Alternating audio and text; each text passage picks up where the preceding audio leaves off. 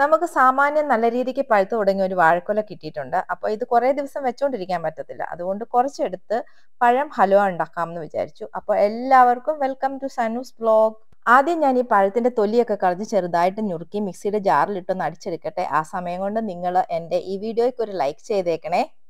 Subscribe ചെയ്യാതെ കാണുന്നവരൊന്ന് subscribe ചെയ്ത bell icon കൂടി ഒന്ന് പ്രസ് ചെയ്തേക്കണേ. പഴം നന്നായിട്ട് അരച്ചെടുത്തിട്ടുണ്ട്. ഇനി ഒരു പാൻ അടുപ്പത്ത് വെച്ച് അതിലേക്ക് നമുക്ക് ഒരു ടേബിൾ സ്പൂൺ നെയ്യ് ഒഴിച്ചു കൊടുത്തിട്ട് അതിലേക്ക് ആ പഴത്തിന്റെ മിക്സ് നമുക്ക് ചേർത്ത് കൊടുക്കാം. അടുപ്പ് ഒരു മീഡിയം ടു ഹൈ ഫ്ലെയിമിലാണ് വെച്ചിരിക്കുന്നത്. ഇനി നമുക്ക് നമുക്കിതൊന്ന് ഇളക്കി കൊടുക്കാം. ഇതിലൊരു ചെറിയ രീതിയിൽ തിള വരുമ്പോഴേക്കും ഞാൻ അതിലേക്ക് ഒരു കപ്പ് ബ്രൗൺ ഷുഗർ ആണ് ചേർത്ത് കൊടുക്കുന്നത്. പഞ്ചസാരയോ ശർക്കരയോ എന്ത് വേണമെങ്കിലും ചേർത്ത് കൊടുക്കാം. എന്റെ ബ്രൗൺ ഷുഗർ ഉണ്ടായിരുന്നു അതുകൊണ്ട് തന്നെ ബ്രൗൺ ഷുഗർ ആണ് ചേർത്ത് കൊടുത്തിരിക്കുന്നത്. ശർക്കരയാണ് ചേർത്ത് കൊടുക്കുന്നതെങ്കിൽ ഹൽവയ്ക്ക് നല്ലൊരു ബ്ലാക്ക് കളർ വരാൻ വേണ്ടിയിട്ട് ഹെൽപ്പ് ചെയ്യും. ഇനി ഇത് നമ്മൾ ഇടയ്ക്കിടയ്ക്ക് ഇങ്ങനെ ഇളക്കി കൊടുത്തുകൊണ്ടിരിക്കണം പിന്നെ മിക്സ് ഒന്ന് തിക്കായി വരുന്നതിനനുസരിച്ച് ഇടയ്ക്ക് ഓരോ സ്പൂൺ നെയ്യ് വീതവും ചേർത്ത് കൊടുക്കുന്നുണ്ട്. ഞാൻ ടോട്ടലി ഒരു ആറ് സ്പൂണ് നെയ്യാണ് ഇതിന് മുഴുവനായിട്ട് ചേർത്ത് കൊടുത്തിട്ടുള്ളത്. ഇപ്പോൾ മിക്സ് കുറച്ച് തിക്കായി തിക്കായി വരുന്നുണ്ട്. ഈ സമയത്ത് ഞാൻ ഒരു പിഞ്ച് സോൾട്ട് ചേർത്ത് കൊടുക്കുന്നുണ്ട്. അത് ജസ്റ്റ് ഒന്ന് മധുരം ബാലൻസ് ചെയ്യാൻ വേണ്ടിയിട്ട് മാത്രം ചേർത്ത് കൊടുക്കുന്നതാണ്.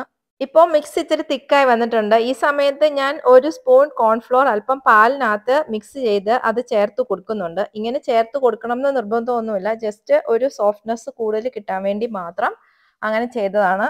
നിങ്ങളുടെയൊക്കെ വീട്ടിലും ഇതുപോലെ പഴമൊക്കെ കൂടുതലായിട്ട് വന്നാൽ കേടായി പോകുന്നതിന് മുന്നേ ഇതുപോലെ എന്തെങ്കിലുമൊക്കെ ഒന്ന് ഉണ്ടാക്കാൻ ട്രൈ ചെയ്ത് നോക്കണം. നമുക്ക് പഴം വെച്ചിട്ട് ബോണ്ടയോ ജാമോ ഇതുപോലെ ഹലുവ ഒക്കെ ഉണ്ടാക്കാൻ പറ്റും. നമ്മുടെ കുട്ടികൾക്കൊക്കെ ഒരുപാട് ഇഷ്ടപ്പെടുകയും ചെയ്യും. ഇപ്പോൾ ഈ പഴത്തിന്റെ മിക്സ് കുറച്ചും കൂടി തിക്കായിട്ടുണ്ട് ഈ സമയത്ത് ഞാൻ ഇതിലേക്ക് കാഷ്യൂനട്ട് ഫ്രൈ ആക്കിയത് ചേർത്ത് കൊടുക്കുന്നുണ്ട്. കൂടെ അഞ്ച് ഏലക്ക പൊടിച്ചതും കൂടി ചേർത്ത് കൊടുത്തിട്ടുണ്ട്. അത് വീഡിയോയിൽ വന്നിട്ടില്ല. ഇപ്പോൾ നമ്മുടെ പഴത്തിന്റെ മിക്സ് നല്ലതുപോലെ തിക്കായി വന്നിട്ടുണ്ട്. ഇനി നമുക്ക് ഇത് ഒരു പാത്രത്തിലേക്ക് മാറ്റി കൊടുക്കാം. ഞാൻ ഒരു സ്റ്റീൽ പാത്രത്തിൽ ബട്ടർ തേച്ച് വെച്ചിട്ടുണ്ടായിരുന്നു. അതിലേക്കാണ് മാറ്റി കൊടുത്തിരിക്കുന്നത്. ഇനി ഇത് നന്നായിട്ട് ഇതിലേക്ക് നിരത്തി വെച്ച് കൊടുക്കാം. അതിനുശേഷം നന്നായിട്ട് തണുപ്പിച്ചെടുക്കാം.